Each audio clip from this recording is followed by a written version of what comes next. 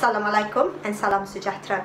My name is Shuhaida binti Yahud and I am a senior lecturer from University Malaysia Perlis or also known as UNIMAP. At UNIMAP, I work at the School of Mechatronic Engineering, teaching in Biomedical Electronic Engineering program. My background is in biomedical engineering and being in this field has really given me a lot of opportunity to do research in solving real problems.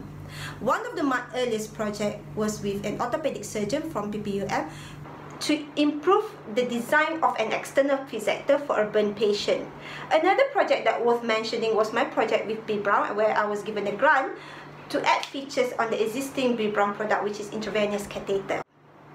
In addition to my role as a lecturer and researcher, I also hold an academic post as a Deputy Dean for Academic Management under the Deputy Vice Chancellor of Academic and International Office. This department is responsible to oversee all of academic program offered at UNIMAP as well as looking for opportunity to diversify the offering of the program for income generation. Being at academic management really empowered me to take initiative and innovative in solving problem in constrained environment. In a nutshell, I would consider myself as having good work ethic and I do believe I will be the best candidate and is going to fit well in the organization.